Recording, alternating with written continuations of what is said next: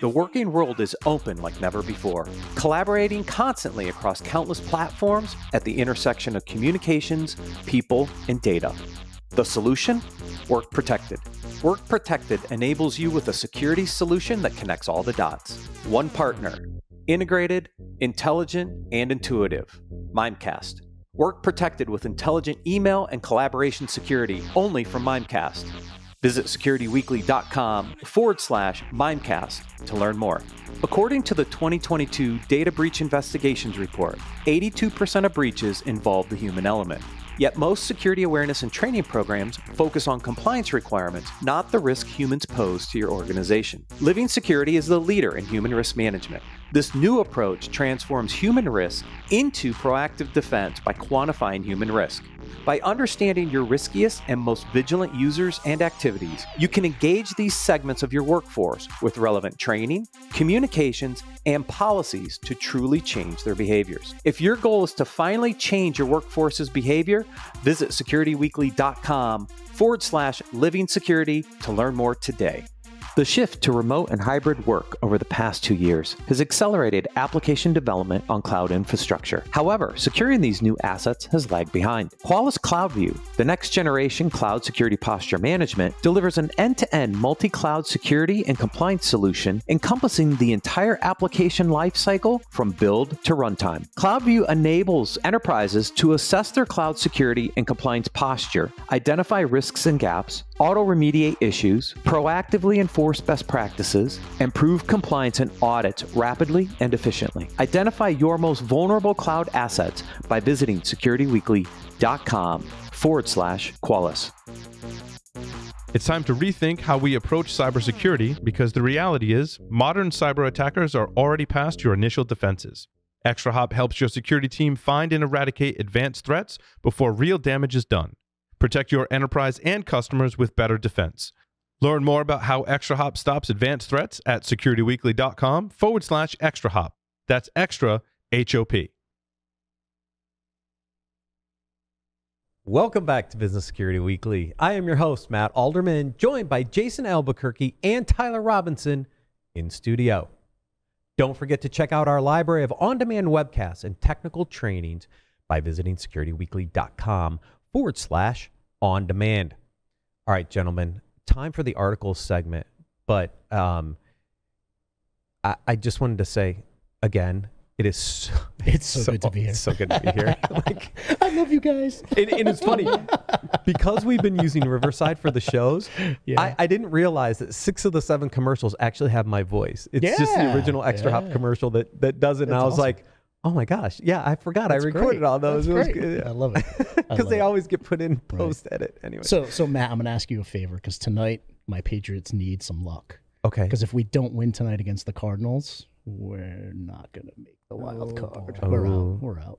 well, I, I I know my Browns are out. My Yeah. my Broncos are way out. Like, oh my gosh, I, I watched that game on the plane last night, and I'm Mhm. just like, Renee said it. My actually my daughter said it. Yeah. Right? She's like, yeah, until he can prove himself. I'm I'm you know she just wasn't high on the the Broncos. She Yeah. was so right. Right. oh my god. And then, holy crap, Tom Brady getting pummeled Oh. by San Francisco with their third string quarterback. I know. Wow. I know the Bucs This did has not look good it's, yesterday. It's one hell of a season, though. This has been a great season to watch football.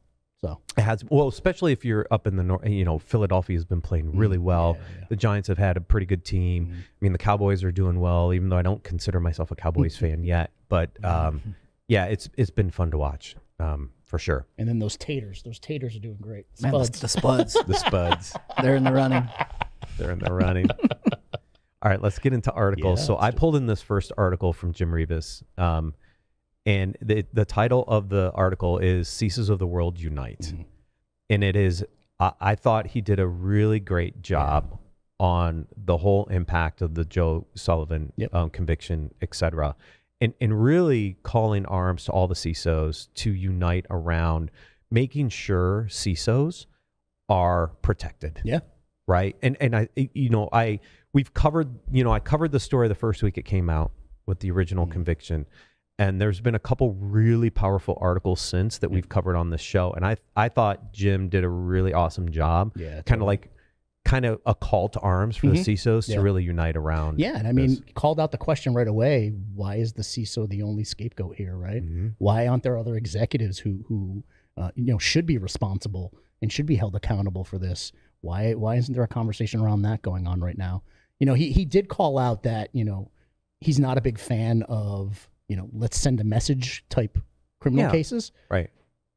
But at the end of the day, it's a necessary evil. That's going to happen. I Mhm. mean, when you have some type of a, a, a large criminal case, they're going to try to set an example. I mean, Yeah. what would we be thinking about if it was a cyber criminal, a threat actor that was sitting on the stand right there? We'd be saying, make an example of them, right? So it's it's a necessary evil that happens. It's unfortunate, Right. but at the end of the day, we have to know it's a necessary evil. That being said, we need to stand up. We really, really do, and and, and advocate and evangelize for executives being responsible, not Mhm. just the CISO. Yeah, it's it, it's the entire executive team. Yes. It should be the entire executive Mhm. team at the end of the day. Yep. This is the thing that Sarbanes Oxley changed, at least at the CEO and the CFO Mm-hmm. level. Is this the event that changes that same behavior for the top security executive in the organization? Right. Right. I, I hope so, Mhm. Jason, as we've talked Agreed. about. I, I truly do hope so.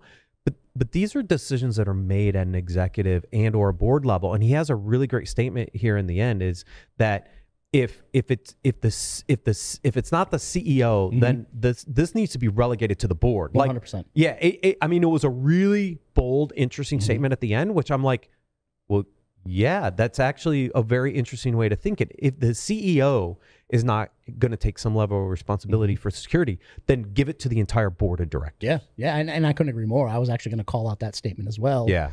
that if if executives are going to take a stand and step back and say, "I'm not going to be accountable for this," your CEO, your CFO, CIO, all of those involved in those decisions, those risk decisions for the organization, they're not going to be accountable for it. You know what? Take them out of the loop. Make the board of directors accountable for it at the end of the day.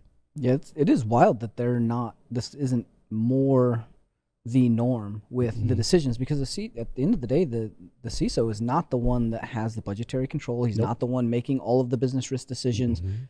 and yet we still have the single point of failure for Mhm. that scapegoat. I think that is that is something that we're also relying on the regular general public to understand the nuances of a CISO's role, Right. what the businesses are up against from a business risk decision. Like, yeah, why don't you have all these security controls? Why did you get breached? Like, Mhm. there's a lot that goes into that. Like, maybe you didn't have discretionary budget, maybe you Mhm. weren't provided the resources, but the the people making the jury and making the decisions around this really need to have that clear, full picture. And I think that's going to be something that becomes more and more important. Is uh, having the general public understand why this is such a big issue, not just hey, they were breached, they Yep. should be liable. Yeah, and, and the one thing that stands out to me is, you know, I haven't seen any of the paperwork or communications, but to think that legal counsel wasn't involved in some of the decision making, That's wild. I- I- highly unlikely, right? Highly Yeah. unlikely that there wasn't some level of legal counsel involvement. So where's the accountability there? Did they have on staff legal counsel? Are they outsourcing it? There's a level of accountability because you know there were legal decisions that were being made at sitting at that executive table. There's Absolutely. no GC on the planet that's going to sign off on that without being involved in it. Right. Exactly it. Right. Right. And that's why I don't think it, it falling on the CISO role Mhm. is right when my guess is there were a lot of people in that decision making process. Yeah, for Agreed. sure. So yeah, I mean, the moral of the story is 100%. We need to, you know, as leaders within this in, in this industry and, and with that level of accountability, we do need to stand up and, and, and support them and support the cause. I mean, I know I know the author mentioned that they wrote a letter and sent it in. I mean, Yep. you know, if there's things that we can be doing to evangelize, I mean, this podcast is one of them. We are evangelizing for this, right? Yeah. So uh, at the end of the day, let's you know, let's roll up our sleeves and, and start supporting our, our people. Keep doing your job, Jason. That's right. Yes, absolutely. Right. Uh, next story. Uh, this was a, uh, I think it was a Wall Street Journal panel. Um, yeah, Wall Street Journal panel discussing discussing uh, managing cybersecurity in a downturn, Yep. right? Because we're there, right? We talked a little bit about it on the last segment and, and some of the impacts there. And look, we we know the challenges. I think, Mhm. right? We're Mhm. we're facing some headwinds in the market. We're facing uh, a skills gap shortage, a Mhm. retention issue, Inflation s- through the roof. inflation through the roof, um, limited, you know, changes in valuations on Mhm. investments, right, are, are all happening at the same time. And, you know, this panel kind of gets into some of the issues about, you know, how to prioritize Mhm. based on risk quantification. And and I sit back in the role that I'm in now and think about, okay, I, I hear you. How many organizations truly understand the risk impact Yep. of the decisions they have to make in their budgets? Mhm. Like, do they truly have an understanding of the risk impact? Mhm. Because maybe if okay i've got an integrated risk management solution and and, and maybe but when was the last time you did your self-assessment questionnaire to identify is it up to date like Mhm. I, I just think about this whole concept of risk quantification how many people Right. have kind of their finger on the pulse of where risks are right Yeah. now and how do i adjust my budgets to those Sure. And I mean, you can you can ask one question. When's the last time you did a business impact analysis? Yeah. Right. I mean, if, if the answer to that is two years ago, oh my God, you're you're in trouble, right? So Mm-hmm. so you know we know that in in budget years where there's going to be financial constraints, there's certain things that executive teams are going to target. They're going to target training. They're going to target bonuses. They're going to target incentive compensation. They're going to look to outsourcing. Mm-hmm. They're going to look for all of these different methods to trim down the budget. So we, as as leaders in the organization, need to bring our A game and and get ahead of that, and say, here are the risks if you start cutting these things, if you start trimming down, and if you can get ahead of that and you can actually make the case, the investments will stay. Yeah But that also means you have to have a good picture of what those risks Yes. are. And I think Yes. Hundred percent. the more the more you you dive into this Mm-hmm. and you can see the mature organizations, the more you know and the more you learn and have a better picture, the more you realize you don't know. Mm-hmm. You you realize you need more quantifications. You need Yep. those metrics in order to understand what those risks are because the people that are saying they're in a good position and the people that have the the insights and they think they're doing a good job those are typically the ones that are getting breached because they just don't know what they don't know that Right. naivete is is just Right. uh, it's a crippling and debilitating thing for an organization especially when they get breached Yeah. Yeah. And that's why it's so interesting to think about the history of, of living security and, and why they started with the integration of the data and the, the and the quantification engine itself, right? Because they wanted a way to scale it, but to make it as real time as possible. And I think if you are doing a good job of risk quantification, you are uh, correlating data across all the inputs that are available to you in a near real time. It doesn't have to be to the minute, but it's got to be daily Yeah. as risks shift to know where those pockets are and how many people are really doing near time risk analysis through data integration of all the different tools that they have. And, and I think this talks a little bit about um, risk lens and the fair model uh, in the article as well, which I, I'm I, I, I get right. I think it's a great model, but if if if I'm only doing this on a quarterly basis, Jason, do Right. I really know No. what the right next No, it's, it's all lag measures that you're Yeah. looking at. If you're doing it mm-hmm. quarterly, it's lag measures. And you, and you know, because we've uh-huh. talked about this for four years now, I'm a lead measures type of person. Right.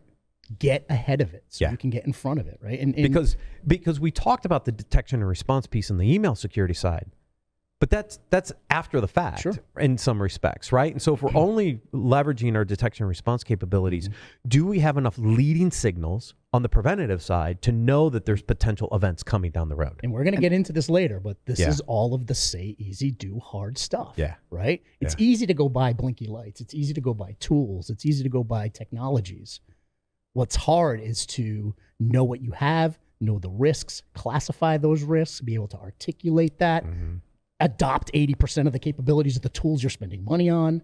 It, those are the hard things to do. Well, it's the integration of that too, right? Like you look at that that threat intel, you get that that pointy edge of the spear, you get the the real time lead TTPs, all the latest stuff. Mm-hmm. What is that being fed into? How are those being reacted on? And and if they are being reacted on, how relevant are they based on how new they are? If you're only doing this mm-hmm. quarterly, like the signals from three months ago, they're Sure. Basically meaningless. Yes, you need to prevent against them, but now you're not doing active response. You're not being proactive. Yeah. You're just being reactive to what was happening three to six months ago. And then what's the quality of the response? Because you always want to continuously improve. On top of Yeah, that, right. You need to be able to look at the quality. If you did respond, you Right. need to, need to Right. take a look at the quality of the Maybe- response. and you may need to go back and respond to something you didn't respond to three months Right. ago. right Yeah. right and and was the response effective or not effective Mm-hmm. right because if it happens again do i do the same response or do i do something different like these are the yeah This is the maturity that I think products are are having to start to get to that bar because we Mm-hmm. need to be there. However, I don't think most products are thinking in this metric in this qualitative manner. This is something Yeah. that is very very bleeding edge from a quality standpoint and this is where you're going to see a lot of the, the companies stand out when the, the budget cuts start to happen you're going to see the ones that are actually measuring and doing effective measurements and showing their value in a qualitative budget manner for Mhm. the executive board and then spending that budget wisely. yes Yeah. That's that's you know the execution of that budget is key. Yeah. You, it, I've noticed lately a lot of people talking about an analytics platform, but not necessarily a risk analytics platform, right? And and they're different, Mhm. right? Mhm. Because we can measure threats and vulnerabilities all day long, but if we don't understand the impact in those equations, Mhm. we don't really understand where those risk pockets are, and that's Right. the interesting part of where where things are. Uh, this next article, things to consider amid cybersecurity vendor layoffs, and you know, they, they there's eight points here to think about when you're thinking about your budget, you're thinking about your vendor consolidation, because there's been a lot of layoffs in the news, and and you know, I I applaud uh, Adrian for this, right on ESW they they they're actually tracking these layoffs in the enterprise security news segment. And so i've started to bring that into the security money segment Yeah. uh, on this show because there are some major layoffs happening. And the question becomes what does that mean to things like vendor communication and support and other things that if I'm going to move forward with that vendor, am I still going to get the same level of service Yeah, right. or or am I not? And so this article tries to articulate some of those areas that CISOs and, and other people in the security uh, industry should be thinking about. And, and just to kind of take a step back, the stats that are in there are staggering. A thousand rounds of layoffs,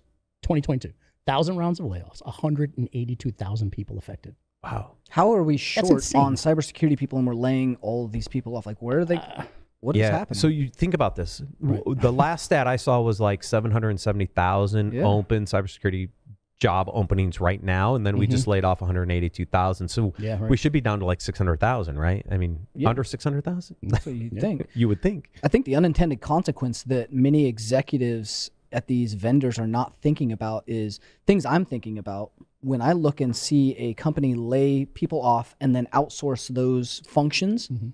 I've now lost a little bit of, uh, I will say, trust in their ability to A, manage a business, B, be able to correlate and handle the things that I need them to do, and the training and quality at which I expect their product to deliver and perform.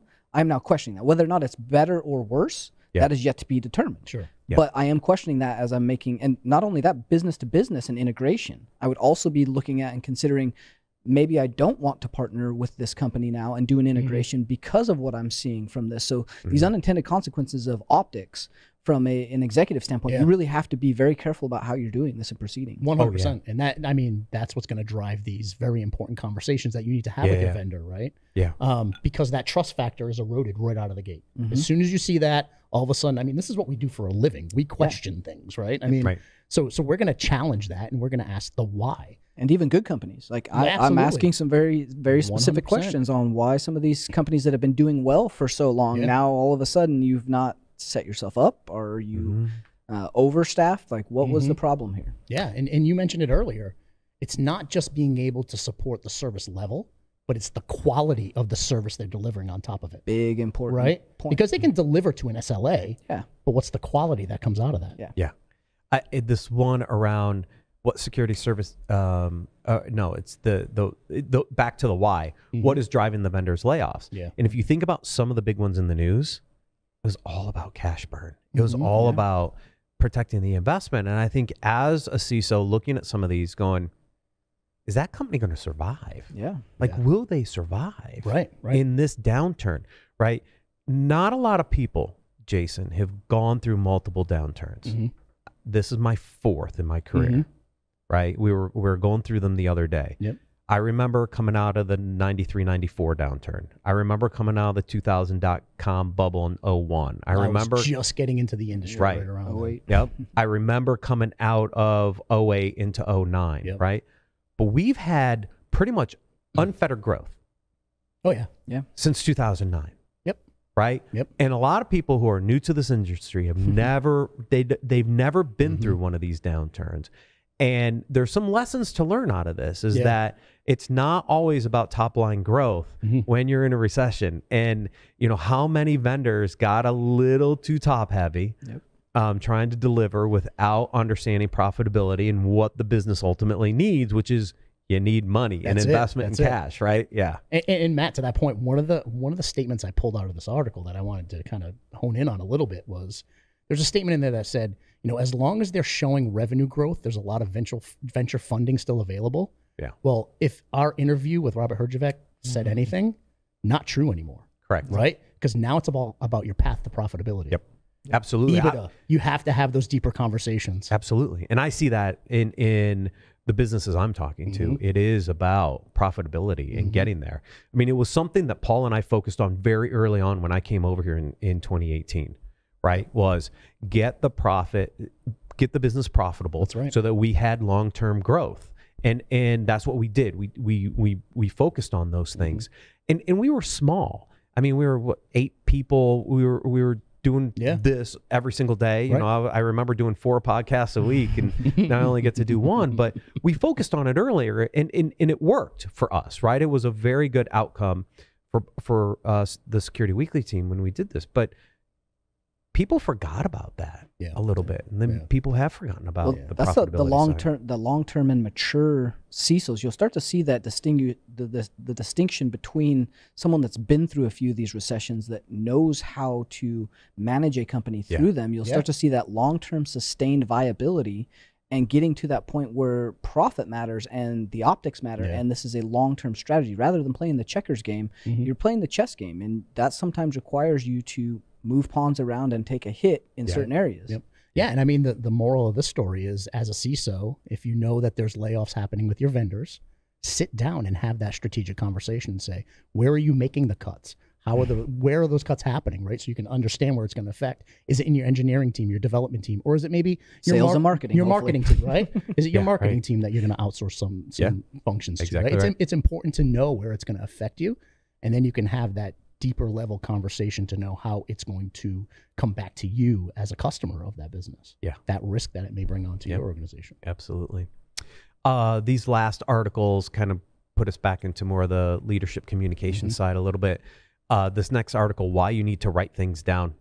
I love this article. Um, too. People who uh, Me too. know me, and my wife yells at me for this still to this day. I write everything down. Me too. I have my composition notebooks. I'm a huge note taker. I draw pictures. I have all of my composition notebooks back to 2009 when I joined Qualys. I have them and they're all in order. Yeah. And she's like, Why do you have them? I'm like, My entire history of being in the product world is in those books. Like, I write everything down. And I use that as a way to help me really identify what's my important action items are so I stay mm-hmm. focused. Yep. Right.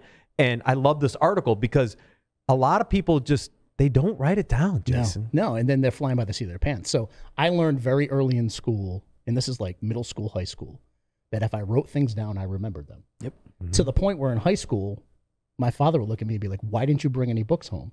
And I said, "I wrote everything down in class. Everything that the teacher wrote on the board, Mhm. everything that they projected and put up there for us, I wrote down, Yeah. and I would do well on my tests." Yeah. and I wouldn't really have to study much, right? Because it helped me with my memory. Right. I'm gonna I'm gonna open it up to here. I I don't have a physical notebook, but I've been using OneNote for one hell of a long time. Yeah. And Tyler can look at this. Oh, Tyler. man. I mean, this is my OneNote, and it goes back well over a decade. I mean, look Oh, at yes. this. Yeah.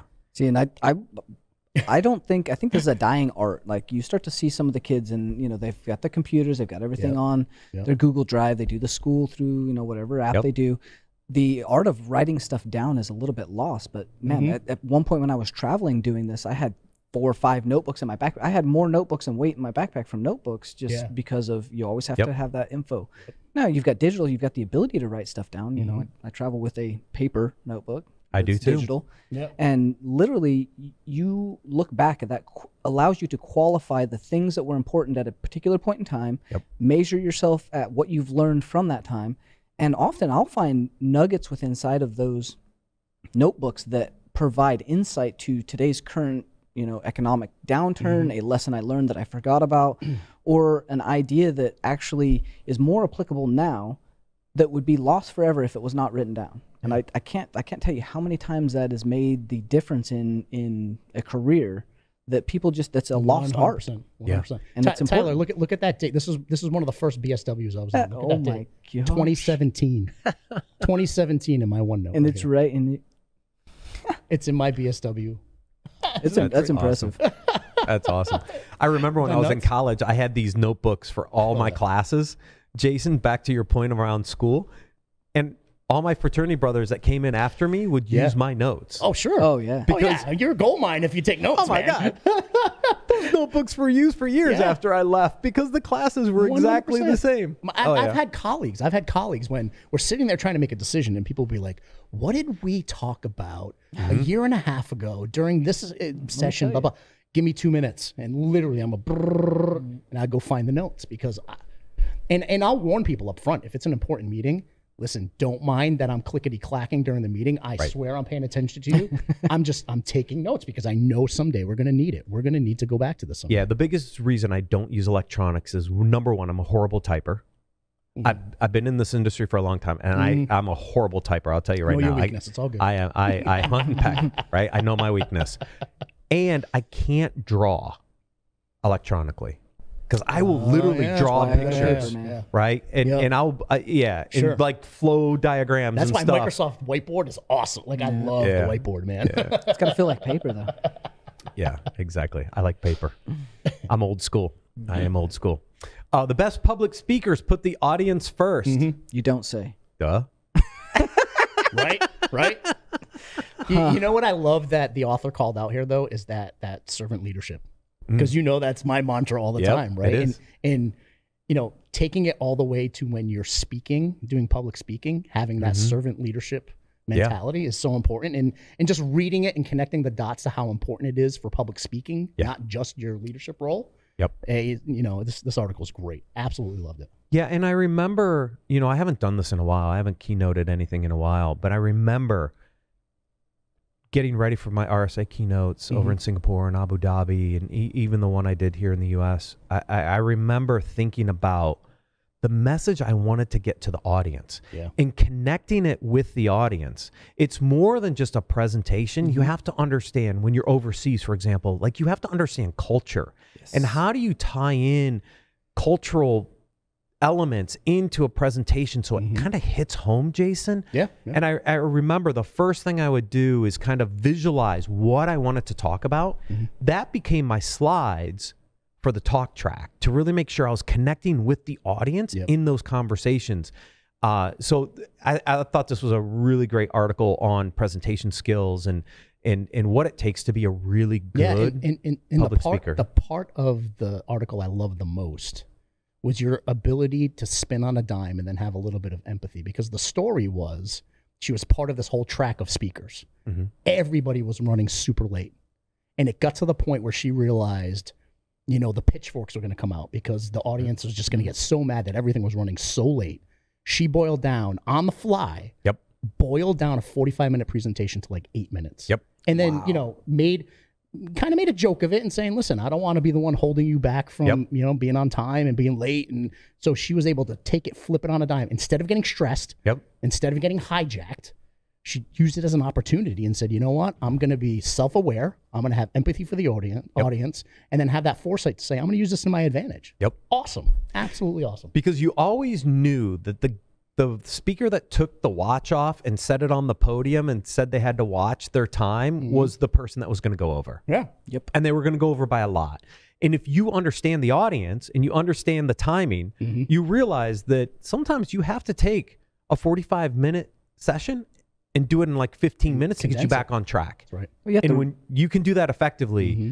people appreciate it. you have to read the audience. You have to feel feel what is happening in, in the environment. Like a lot of people just whatever's on their slides, whatever they've prepped for, whatever they've rehearsed. Like that's one of the mm-hmm. reasons I, I I tend to not rehearse because I don't know what the flow is going to feel like. I don't know what the atmosphere is Until you're in it. until I'm in it. And I want to I want to be very cognizant of mm-hmm. reading the audience, very cognizant of what they need based on what the the conference has provided prior, which I often don't have insight into, and then being able to provide that, and especially overseas. Matt, you were spot on that overseas one. I use that that mental picture, uh, motion picture in my head. I really want to get in their head and understand what is the current events, what is different. Like take my Western mind out of this. Yep. Understand where they're at and what I can actually provide that is a benefit to them, which is often not based around my topic. It is the non-tangibles that you're providing to them, the the energy, the optimism, all of the things that people come away and it's not about really what you said, it's about how you made them feel. Yeah. And, it's really not about you. No. You're there to serve. Yeah. You're speaking to a- that audience which to is serve different. the audience. And Right. Some people forget that. Yeah. Some people forget, you know, they're they're there. They're be, there to be learn. on stage, Right. right. No, that's not why you're there. You're not there to be on stage and be a presence. You're there to teach people. That means you have to put your ego down. That's one hundred percent, Yeah. right? And that's why I'm such a big fan of that servant leadership mentality. Yeah. Uh, associated to that is the last article: how to talk slower and clearer. Oh, God, I'm so bad at that. No, but I, th- I think we do a pretty good job on the podcast, yeah. right? I mean, Years we of have practice. years of practice, and really, again, back to self awareness Yeah. and and how to slow it down. Pauses Mm-hmm. are huge when you're doing a presentation. Let it sink into the audience, right? Back to this whole conversation. Like those pauses have huge impact when you're trying to get a point across. And allow the speaker to in because in here is breathe. Yeah. And sometimes I watch some speakers who are like they're almost out of breath. Yeah. when they're speaking Mhm. because it's just one big run-on sentence or just one thing after another after another after another and they don't pause Yeah. i grew up here in new england we just notoriously speak fast so it's like in my dna and it takes a lot of thought it really takes a lot of thought to kind of slow it down and just breathe But that goes to, to the empathy side. You want your audience to be able to digest. You want that nonverbal communication and that Mm-hmm. Right. connection to happen. And Yeah. Again, that that is something that is Mhm. is honed over the years, and, and you can you can do it well and you can do it poorly in the same day. Mhm. Oftentimes, just Yeah. based on how you're feeling. So you really have to connect and make sure you're uh, very aware, self-aware Yep. of what you're doing and how you're presenting that, and understand why you're trying to present that. If you're really trying to connect with the audience, you have to focus at looking at the camera. You have to take a breath. You have to give that minute of Mhm. time for that nonverbal to, to sink in. And that's for, especially for tech people, we have a long ADHD run on string of thoughts that just has to come out. We And it's very do. technical. Absolutely. right. And and by the way, this took me years to master. Yes. Yeah. It took me years to master. I went through so many uh, speech classes and trainings and Some very expensive trainings. yeah, but luckily I, I did a lot of them when I was at RSA, so it was great because they they picked up the tab for a lot of it. Oh, wow. But Yeah. because Art Coviello, who to me is one of the most masterful keynote speakers Mhm. I've I've ever met, right? He was he, there was something that was so important that if you were going to go out and speak in public Yeah. and be part of the RSA brand, he wanted to make sure that we we we nailed it, Yeah, right? you're and so we the brand, yeah. exactly, and we went through a lot of training when I was. Yeah, so if you're running a conference, definitely find even if it's a free resource or someone Mhm. wants to donate time, that is a fantastic way to mentor the next generation of speakers because there are a lot of us that have spoken a lot, Yeah. but there is a whole generation that has very excellent knowledge, but they're either terrified of speaking, they're not Mhm. very good at speaking, Yeah. or they need some mentoring and help. So right always offer to review slides, to run through presentations, and if you're Mhm. running a conference, maybe offer the the option to have some public speaking uh, lessons from Yeah. people that have done it. I'll, I'll tell you one of the one of the biggest things I learned was you know CEO of mine way back when um, basically said you know if you're going to start public speaking learn a lot about yourself and know when you're about to get hijacked right when when that lizard brain takes over that fight or flight takes over Yeah. kind of learn what that feels like and then as soon as you can take that and kind of divert from it and calm yourself down that takes away from some of that stage fright, right? Yeah. Because everybody gets the butterflies. Oh, Every, course. everybody. You're not human if you I get do. the butterflies. Oh my right? gosh, I used to sit in the I would sit in the green room practicing and Mhm. practicing and practicing. That's the other thing that Art taught me was his preparation for his RSA keynotes and how much time he spent doing it. I would you can over prepare. I would have butterflies Mhm. sitting in the green room. But when I got on stage, it all went away cuz I just I just knew it. Yeah. Like Yep. and, and it is the preparation that that makes that work. Yeah. Confidence. Having confidence when you walk on a stage or walk on a po- walk up to a podium is Oh, yeah. so important. and It it's, is. it's practice. It's a high performer. Like Yep. you, you're Tom Brady. You show up on the field like you're not going to be nervous. You know what you got to go do, and you just get to that zone and and That's right. Deliver what you have to deliver because that's what people want to see. You're mm-hmm. delivering for someone else, not yourself. Yeah, he forgot that on Sunday. Oh though. yeah, that's Yeah, right. come Oof. on. Gentlemen, this has been an absolute pleasure. Thank you for joining me in studio today. I know Tyler and I flew in last night to make this happen. Yes. Thank you, everyone, for joining us. Have a Merry Christmas, a Happy New Year, and we'll see you next year on Business Security Weekly.